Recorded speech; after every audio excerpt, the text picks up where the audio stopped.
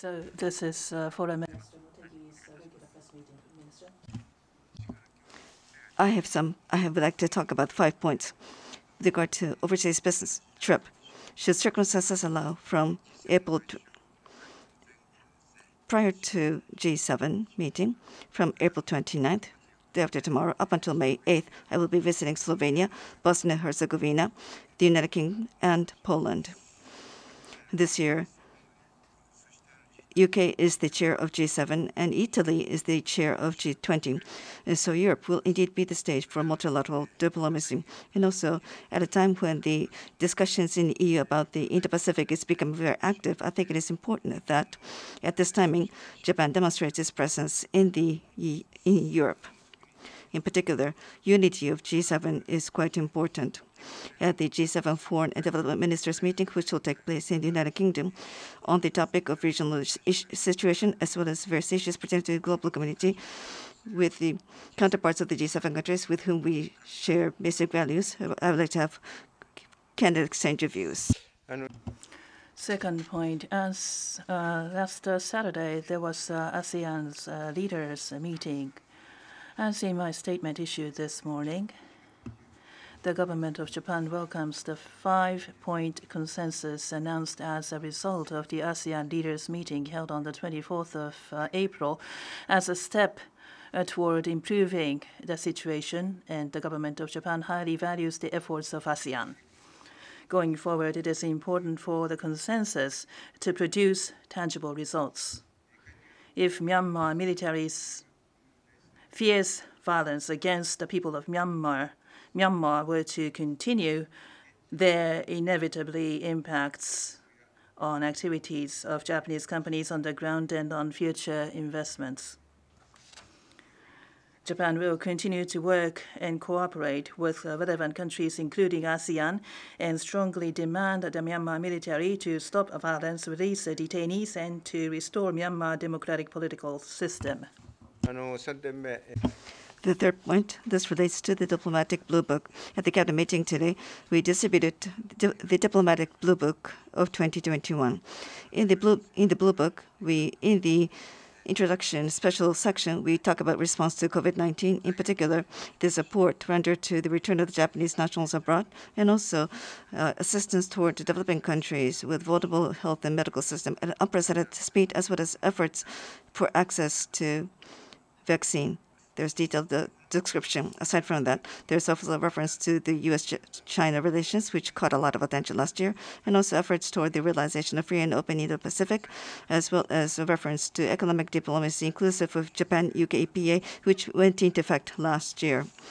You'll be able to take a look at uh, the Blue Book at uh, our ministry's webpage. And so the booklet will be made available from the end of June this year. So we would like to we expect to see deepened understanding in and outside Japan on Japan's diplomacy that plays a leading role in the rulemaking in post-corona era. Thank you.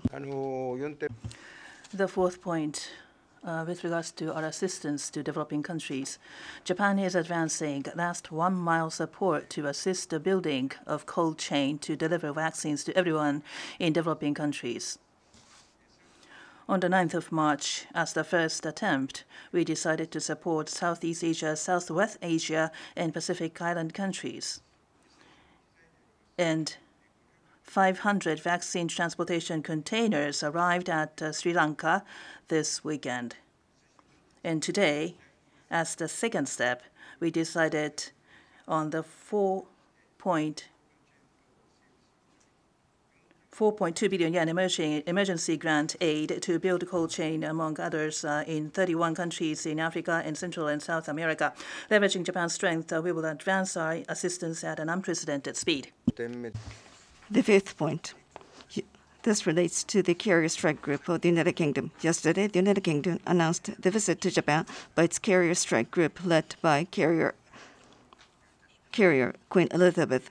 This is to concretize United Kingdom's tilt to the Indo-Pacific, and we welcome this as it will further promote cooperation between Japan and the United Kingdom in security and defense, which have been, become very strong in the recent years. And also, the carrier strike group will be joined by the Dutch Navy frigate, which we also welcome as Japan. That's all from me. Your questions, please.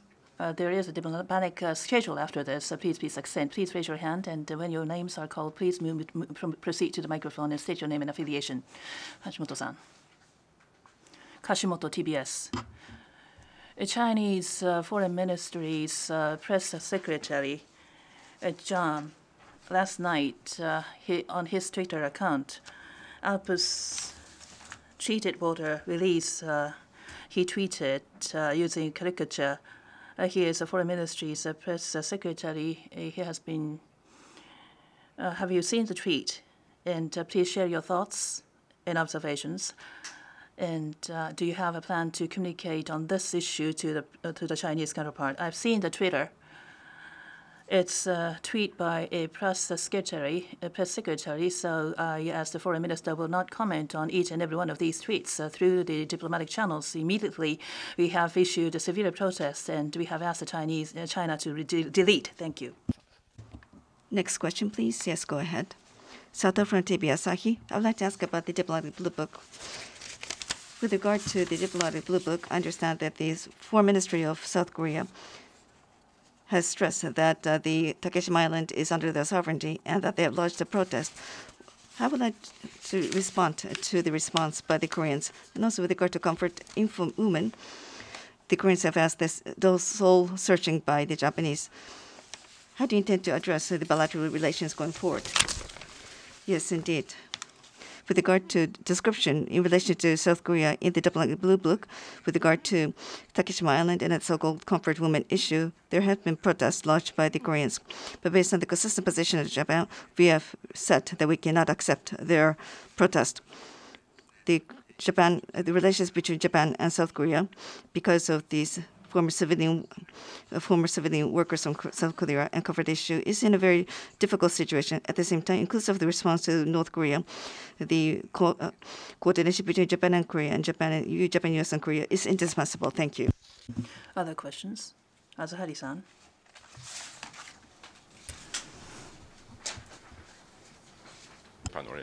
Japan has been uh, one of the biggest supporters, if not the only the biggest one uh, for Palestinians and the Middle East peace process. And uh, it called uh, Israel called on Israel many times to withdraw from occupied territory. however, Israeli occupation forces clashed with Palestinian civilians recently and still, I think, in East Jerusalem and seem to be supporting the provocation acts of illegal Israeli settlers around the Aqsa Mosque. So what is Japan's position on the latest development? Thank you. As far as the government of Japan is concerned, uh, rising tensions in Jerusalem and Gaza and in surrounding areas, uh, uh, we are uh, seriously, deeply concerned about the damage caused on civilians and uh, rising tensions. And uh, we condemned the attack on the civilians by from Gaza district to by rocket bombing. Issues facing Israel and Palestinians should not be resolved by violence. It should can only be resolved uh, by negotiations between parties and efforts to build confidence. That concludes the press conference. Thank you very much, all, all of you.